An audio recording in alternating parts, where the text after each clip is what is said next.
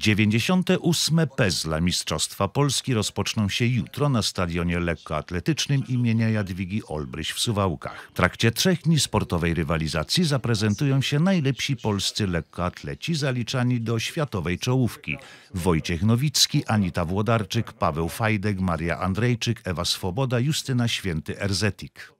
Suwałki zadebiutują w roli gospodarza seniorskich Mistrzostw Polski. W przeddzień wydarzenia do oglądania sportowych zmagań zapraszali Czesław Renkiewicz, prezydent Suwałk i Henryk Olszewski, prezes Pezla. Mistrzostwa Polski w Suwałkach są po raz pierwszy, a w regionie w ogóle, w regionie tutaj są po raz trzeci.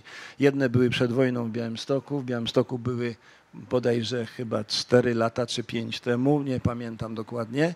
No i teraz są w Suwałkach, także jest to też nobilitacja podlaskiego województwa i Suwałk myślę, że, że, że to też coś znaczy, że region się rozwija.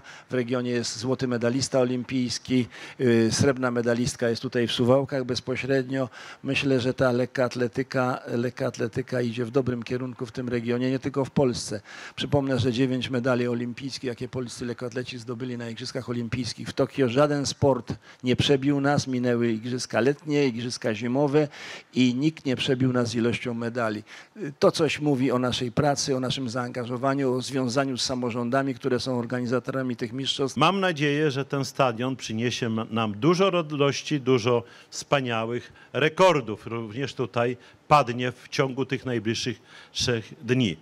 Również mam nadzieję, że aura nam będzie w pogodnych y, suwałkach sprzyjała, że pogoda utrzyma się tak, żeby te zawody przebiegały bez żadnych tutaj problemów y, związanych z pogodą i że również dopisze nam publiczność, bo to jest gratka dla kibiców, dla publiczności, bo będą mogli bezpośrednio zobaczyć zmagania tych najczołowych polskich lekkoatletów. W sumie do Suwałk zawita około 600 sportowców. Początek zmagań o godzinie 16.40.